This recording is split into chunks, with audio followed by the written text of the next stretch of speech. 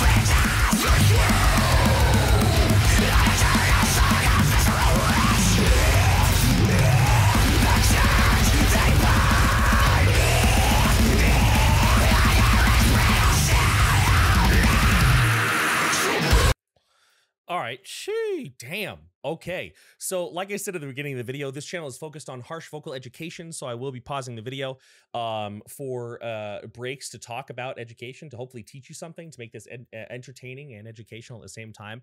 Um, if you want commentary free versions of this, this is my favorite line. Check out Spotify. Uh, this ain't it. Um, but holy cow. Okay. So, I got to get a couple things out of the way first this not only so you know we we've had phil on the channel a couple times um and i think i might have heard this song before because i remember when they were working on it um in the studio he sent me like a pre-pro version but it was like a phone recording like he texted me a phone recording of the audio so it was kind of hard to hear so maybe i've heard this before but it's in this polished form it's awesome. There are so many things that are a throwback not just to old whitechapel um but old deathcore and and i want to kind of talk about those a little bit as well because you know ever since um you know uh, the past like three or four years, really since since uh, the whole pandemic thing happened, there have been a lot of younger people who have gotten into deathcore and death metal, and there are sounds they may not be aware of. So not only is this a, is this a throwback to old Whitechapel because of the riffing, because of the aggression, because of the heavy moments, but also it's a very big throwback to the way that um deathcore vocals used to work. Now, I'm sure we're going to get more dynamic, but we don't need to. Actually, we don't have to. But back in the day of metal, deathcore, all these different genres, especially in, in, in deathcore, there were you had your three vocals, right? You had your low, you had your mid, you had your high. And most of the time, those vocals were completely separate from each other, put on different tracks, which is still kind of the case now. Um, but you know, the vocalist would use the low and then switch to the high and then the mid. And it was those things very, very distinctly. Nowadays we get a lot of blending, we get a lot of slurring of these sounds together, right? So here we open up with a very I, I don't want to say typical actually because it's not. Um phil is definitely hitting a lot of spaces that either i haven't heard him hit for a while or um that are relatively new like his high vocals sound kind of new but the first thing we hear is this really deep really long low that he sort of slowly slowly slowly slowly pitches down right? Now there are a couple things i want to talk to you about how we're going to do that right? How do we pitch our lows down well, there are a couple things we need to think about, right? First and foremost, and oh, there's a smudge on my screen. Oh dear. Um, first and foremost, now we're not going to go into like this really long, in-depth, um, like phys- like vocal physics aerodynamics lesson. That's what the one-on-one lessons are for. Um, but I am going to give you just a brief, a brief tidbit. So generally speaking and you know there are there are always exceptions to things but when we're thinking about our voice especially when we're new let's think about what creates high frequencies and low frequencies right well low frequencies are going to come from lower rates of vibration right So sometimes when we're pitching these vocals down, we're actually getting a little bit quieter and we're not pressing into them as hard. Now, I'm not going to sound like Phil because Phil's been doing vocals for longer than me and perfecting his own style. I'm going to do my own thing. But if I take like a low vocal, right, if I take that and I slowly pitch it down, and then back up, you may not be able to hear it because once this gets posted, you know, I'll have done some audio treatment to it. It'll be, you know, gone through some compressors and things. But um the volume dropped a little bit and I was pressing in a lot less hard. And if I'm going to go really low, you know, when I'm doing that, there's a lot less pressure than you may think, right? Because my goal is for those tissues to flap slowly. The other thing is you're going to need a vocal that is more compressed, right? You're going to need a, a, vocal that's more compressed. So like something like a very open, relaxed false, like just just breath distorted false cord. A I blow That's going to be a lot harder to to pitch down like that because you need more time. And a false cord runs out of air like if it's just no bells and whistles. Runs out of air pretty quickly. So that was fucking awesome. Uh freaking awesome. Whoops. Um and he really brought it to a place that was gnarly, right? We're going to talk about the mids and the lows, or I'm sorry, the mids and the highs a little later once I've had more time to digest him. I want to jump back into this song. But yeah, this is dirty. This is some dirty stuff. And Phil has such a way of taking his distortion and making it really sound like pure noise, right? Like my my voice is always very chunky. Everything I do has a lot of like, you know, you can hear all the little flappy jibbly bits. But with his tone, it's just like it's amazing. I absolutely love it.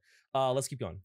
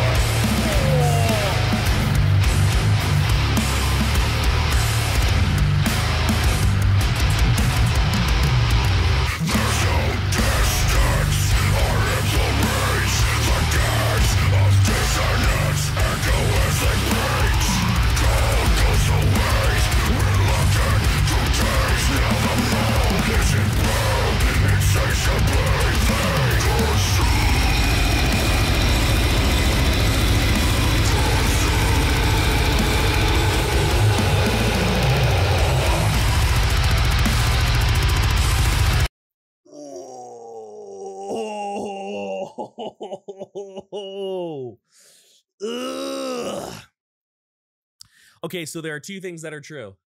One, we're going to talk about mids, but two, I was too distracted by how dope that was. I'm not even going to lie to you. Uh, my vocal coach, my vocal, co- my vocal coach, my vocal coach ears turned off, and I just really got into it. Which let me tell you something: when you have done over 400 or close to 400 vocal analysis videos, sometimes songs cease to surprise you sometimes songs cease to surprise you, but that was disgusting, right? so let's talk. God, ugh. Where I, I want to go back and listen to it again because again, my um, I want to be more analytical.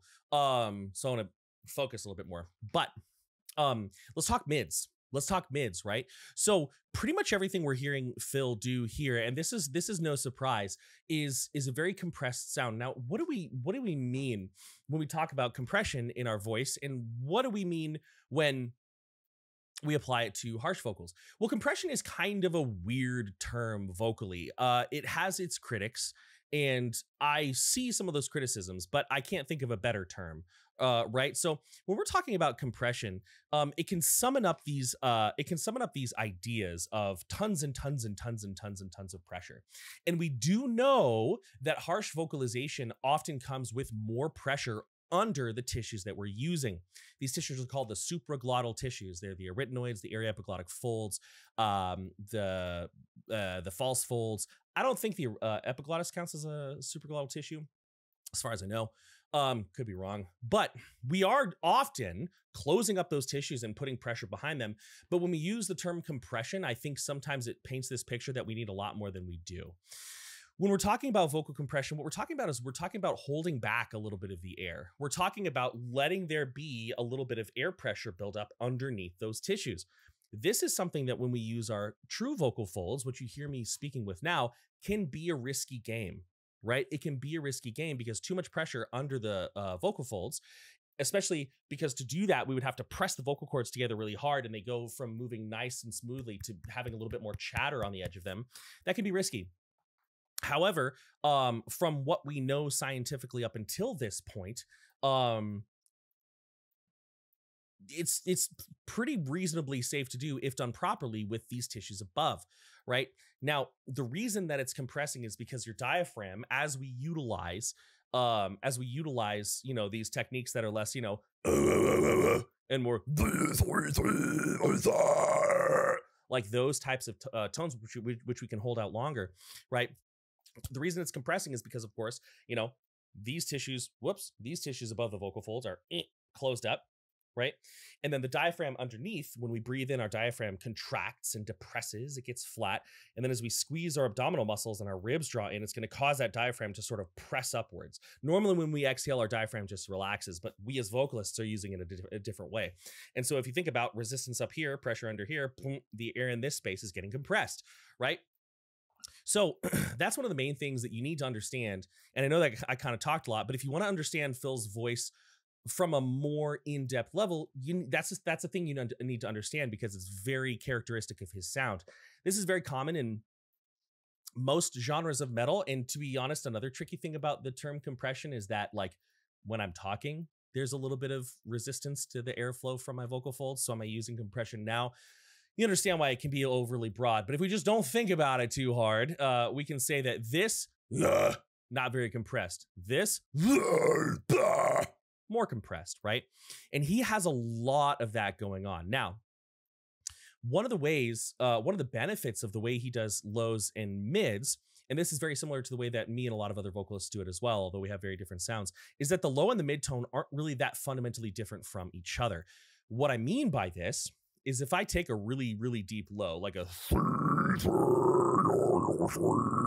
if I take that sound and I stop doing like cool stuff with like my tongue and my lips and my jaw and I just open it up, it's going to sound more like a mid, even though I'm not really changing much in here. There's probably a little bit of laryngeal movement we can we can find out together, but it's nothing drastic, right? So here's that super deep low. Um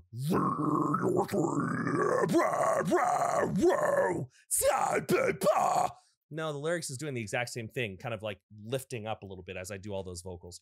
Um so that's that's a really strong suit that he has and part of the way he's able to switch between those lows and those mids really really easily. And that's something that you should think about for your voice as well. If you want to be very very dynamic if you want to have a lot of fluidity in your voice you know think about not control like just find a good tone but don't make a lot of the change here. Make it up here. Make it up here. Whoa that'll make a big difference and we hear that here. I want to go back like i said because i got to hear this. Um I don't know, one, one, one, two, one twenty-three, because it's sequential. One, two, three. Let's go back there.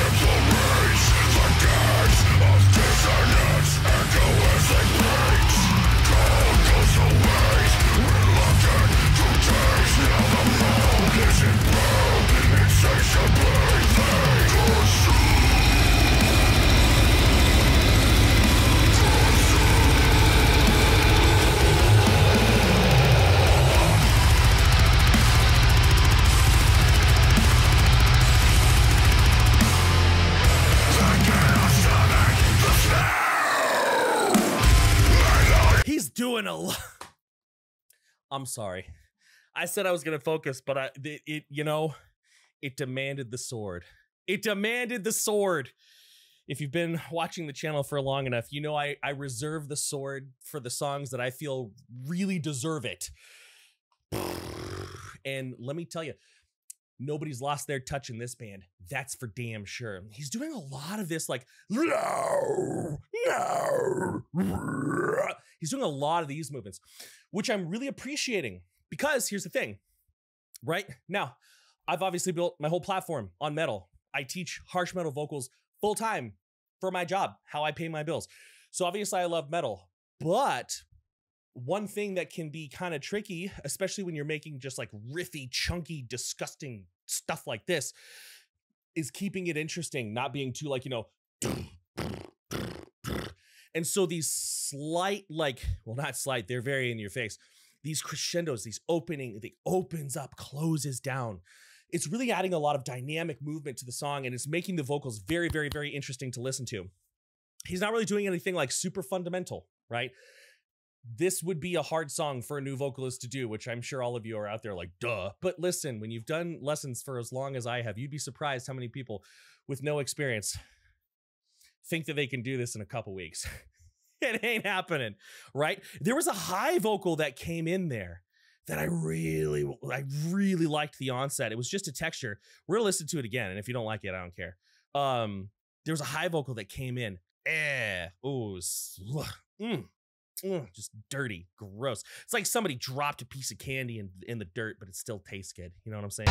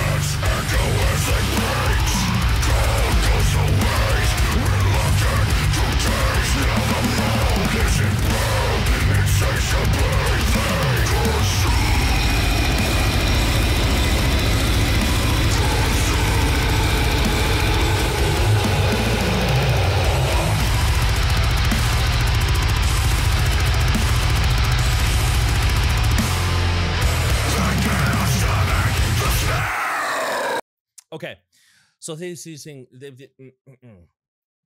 I'll say these two things very, very quickly. The first thing is, yeah, that high vocal that comes in, even that high vocal has like this, right? It comes out of nowhere. Sick, right? I don't know if he tunnels it. That's just a habit of mine. More like that, right?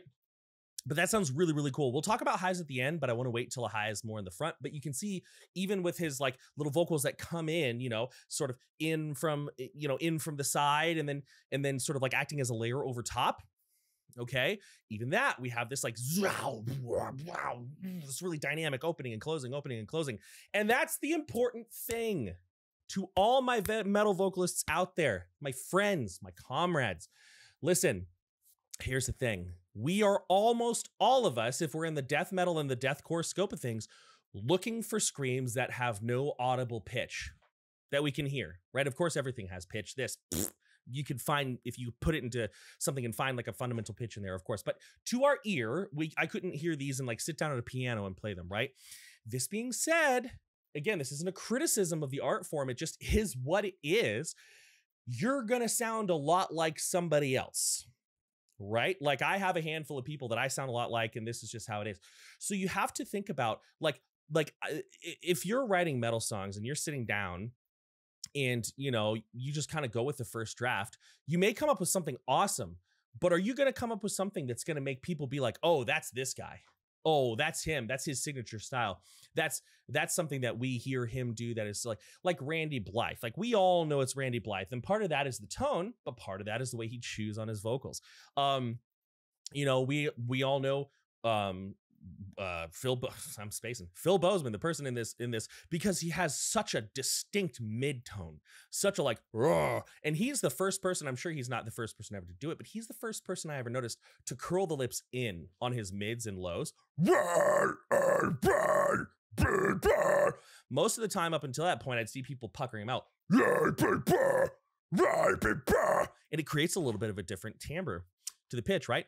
Um, so it's really cool. Another thing that I think he's doing, I'm not super confident on this. It's a little hard to tell. Oftentimes with our low vocals, we want to have a really big open chamber, right? So even if I do something like you know the the the, the aperture or the embouchure, like the the space, the the distance, yeah, aperture is the right word, is very small. But if I open up my lips, you'll see that my mouth is open quite quite wide, right? So um, my jaw's not dropping. Um, we can break that rule though if we have a good enough understanding of airflow. It creates a very tight, low. Oh, I'm sorry, uh, sorry, like a, a, tight and quiet low vocal. This was really big in uh, CJ era Lorna Shore, right? Um, but instead of like these big, we have more of like an airy, like it's it's not really my thing, but I'll give it a try. So instead of it's closed. Yeah, there we go. So right there, everything's really, really closed. Mm, mm. But what I am doing is I'm kind of opening up this space, not so much that it's a strain, and I'm actually purposely pushing air through that, right? Sorry, I did that right on the mic. That might be a pain on your ears. I apologize. But you get like this sort of sound.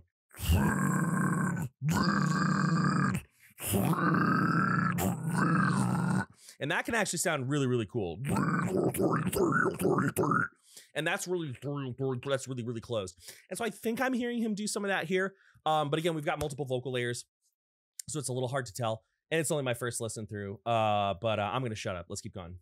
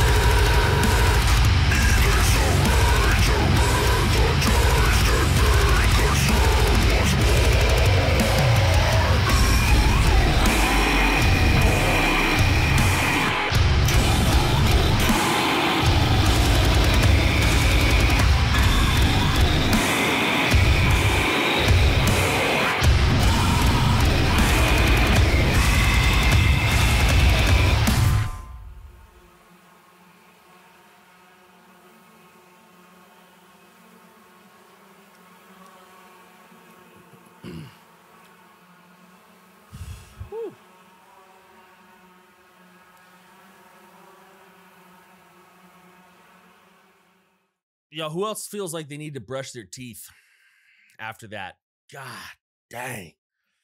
God dang. Whew, that's dirty.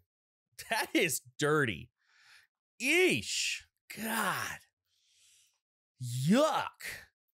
But in such a good way. If for some reason you're not a metal fan and you found yourself to this video and you think when I say yuck and gross, I'm insulting it, the uh, the people in the metal community understand that this is high praise. this is if I call the song gross or disgusting or nasty or stinky, um, it's very very good. It's a very good thing. If somebody tells you your vocals are stanky or uh, if they're disgusting, then you're doing a great job. Um, I heard him almost doing like a pitch fry tone in there. Is that right? Did I hear that right? I don't know. I don't know where it is this video is already getting on too long and I've got I've got a lot of work to do today. Um we're uh my band Kardashev, which is also on Metal Blade Records, we're uh playing in Germany in a week. to a week and a day, and so prepping for that has been a has been a beast. Um, but so I'm not going to go back, but like it was really interesting. It was a sound I feel like I have not heard from him before. Maybe it was the production on the voice. Maybe it was just like the EQ and like exciters or something. I don't know. But I feel like it was a new thing. Somebody also told me that he does the cheek pull in this video. I didn't see it. The cheek pull is something I do a lot. I'm not the first person to have done it. I think I've heard that Mike Patton has done it before. But it's when you pull on your cheeks to change the sound of your your scream. Somebody was saying he did that. I didn't see it, but maybe I missed it. Um, I want to talk about highs a little bit before um I want to talk about highs a little bit before uh, we wrap up this video. So one thing about highs that's really cool is that you can do a lot of stuff with your soft palate that like would break the rules of singing. Like one thing, and it is okay, well, the rules of singing. Okay. Uh, it goes against common convention. Let's put it that way. Um, but one thing you hear a lot in like the clean singing, clean singing world is raise your soft palate, raise your soft palate. But what if I don't? How about that? What about that? What if I don't? Right? Well, if I have a high that's really open and wide and the soft palate is relatively raised, yeah, ah, blah. But what if I drop that? What if I drop that and sort of think about squeezing it with the back of my mouth? Well, I mean, that sounds pretty cool myself. And I feel like I heard some of that um coming from Phil just now, and I sounded awesome. I am looking forward to this album, y'all. Listen, here's the thing The Valley was amazing, Kin was amazing. Great albums. But I ain't going to argue with the amount of heavy they're bringing to the table right now. So uh, I'm very much looking forward to it. This was a dope track. I'm very excited to hear um, what's coming down the pipe soon with that being said, I do need to wrap this video up because, uh, like I said, we're doing some uh, we're doing some prep, and I got to make sure I got to make sure all my all my uh, uh, loose ends are tied before I leave. So if you enjoyed the video, like, share, and subscribe. If you like the way I talk about vocals and you want to take one-on-one lessons with me, I have done. I did the count recently. It's almost five thousand vocal lessons over the past four years or something like that. It's it's insane. Um, had a ton of students, seen a lot of success stories. You can check out our Kardavox alumni playlist here on the channel to get an idea of uh, people that I've helped. It's a mix of all skill levels, advanced and beginners alike. Um, and that's it. So beyond that, many thanks, much love. I'm out.